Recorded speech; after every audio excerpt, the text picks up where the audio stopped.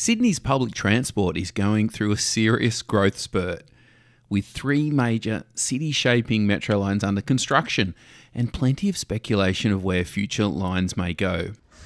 Regular viewers of this channel know that we've been mainly focused on following the developments along the Bankstown line.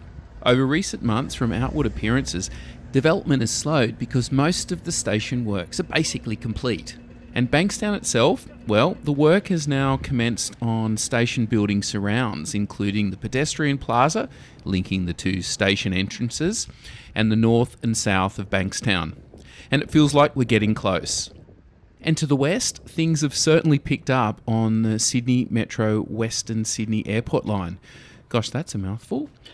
With significant construction at St Mary's during October, as an example, where you can see on the day I visited, there were stairs and I guess escalators being craned into position.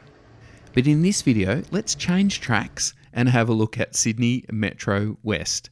I'm Marty and welcome to Backtracks. Once open, the line will be 24 kilometres long and it will be fully automated and fully underground, running in twin tunnels for its entire length from Hunter Street in the CBD of Sydney, Australia, to Westmead in the west with nine stations, and it has a stabling and maintenance facility to be built at Clyde. It will use similar rolling stock to that being used on the Metro Northwest and Bankstown line. So let's take a look at each station, travelling from the city out to Westmead. Let's start at Hunter Street. The start of the line in the city is currently in Hunter Street, which is basically wedged between the Wynyard Railway Station and Martin Place and it's often been talked about this will create a mega train station where you'll be able to walk continuously between the three stations. Hunter Street will be the only CBD station on the line, and as I just said, interchanging with other Sydney Metro and Sydney train services. There are two separate above the ground construction sites west on the corner of George and Hunter Street, just adjacent to the Sydney Light Rail Lines 2 and 3 and Wynyard Railway Station, and then there's east, just a bit further up Hunter Street. The platforms themselves have been mined, so what you can see at ground level are primarily the station entrances, which will later feature some very tall office towers as part of the over station development. From what I could see, they're around 200 metres high or about 51 stories high. One interesting fact part of the station's underground connections will reuse the Hunter Connection, a tunnel that was built in the 1930s as part of the original Wynyard Station works, which sits approximately 20 metres below George Street. Leaving Hunter Street, the line heads west under Darling Harbour to Pyrmont. To service what I've often said is a quite difficult to get to part of Sydney via public transport. And where I'm filming here, you can see there's two large acoustic sheds which dominate the area on both the east and the west entrances. And as I said, like Hunter Street, this is a mine station. There were six tunnel boring machines in total used on the Sydney West Metro, and the last two, Ruby and Jessie, left Pyrmont in September 2025 on their 1.1 kilometre journey to Hunter Street Station. Both are expected to break through later this year in 2025. TBM Jessie's a little bit behind, but well on the way. The next stop, heading west, is the Bays, which is a metro station between White Bay and Rozelle. And the station's being built in an area with significant industrial and transport history. Dominating the site is the former White Bay Power Station, built to power the requirements of the expansion of the Sydney tram and rail network in the early part of last century. That power station closed in 1983. The new Bays Metro station will provide the Balmain Peninsula with passenger rail for the first time since the trams stopped going there in November 1958. And it had a metro planned once before in early 2008. The New South Wales government announced plans to build a metro line between the northwest suburbs of Sydney and the CBD, and that was known as the North West Metro. Finally, Balmain is getting a train station. And from here, it's a pretty much straight line through to Five Dock. The new Five Dock metro station is on the Great North Road, right in the heart of Five Dock shops. There are two station entrances, and from what I could see, part of the station has been mined, and part of it is via two separate station boxes. With an apartment building and the Great North Road still above the future station platforms. Five Dock is not close to any rail based public transport, well, not since the Abbotsford tram line closed, which used to run right in front of the station along Great North Road, and that closed at this part of the line in November 1958. This station and the 11 kilometres of twin metro tunnels between the bays and Sydney Olympic Park and the five new metro stations along that section of the line were built by Acciona Ferrovial, who have now completed all the major construction at all the sites and has been handed back to Sydney Metro. So, right now, nothing seems to be happening at any of these stations. And that's certainly the case at Burwood North. Burwood North will be located at the corner of Burwood and Parramatta Roads, with entrances on both the north and the south sides of Parramatta Road. And the station will take the pressure off the existing bus network along Parramatta and Burwood Roads, as well as off Burwood Station. And like at Five Dock, there's not much going on here. The station box is complete, and works are basically at a standstill while the next construction phase starts, which is building the stations themselves. Now, Burwood North is basically halfway between the city and Parramatta, with it only being 10 minutes on the metro to Parramatta and 10 minutes to Hunter Street. I would say property will be going off there. And it looks like there's a nice sushi takeaway going to be built at the station.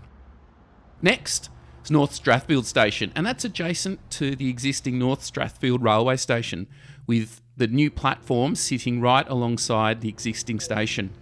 I visited here a couple of months back and again, it was just dormant, waiting for the overstation development to be started.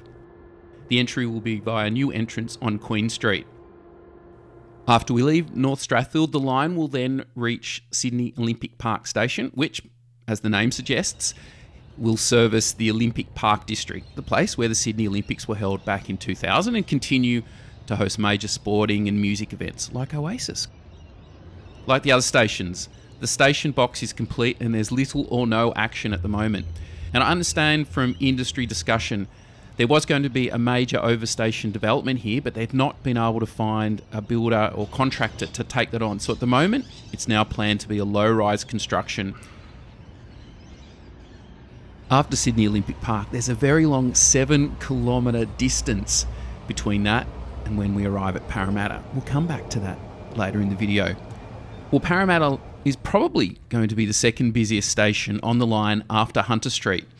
It will serve as a major interchange with existing heavy rail at Parramatta and the L4 light rail. And of course, just for people living and working in Parramatta, which is Sydney's second CBD.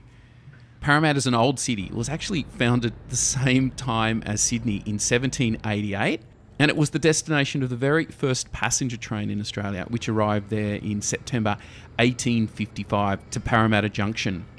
And boy, this is a huge site, basically a whole city block.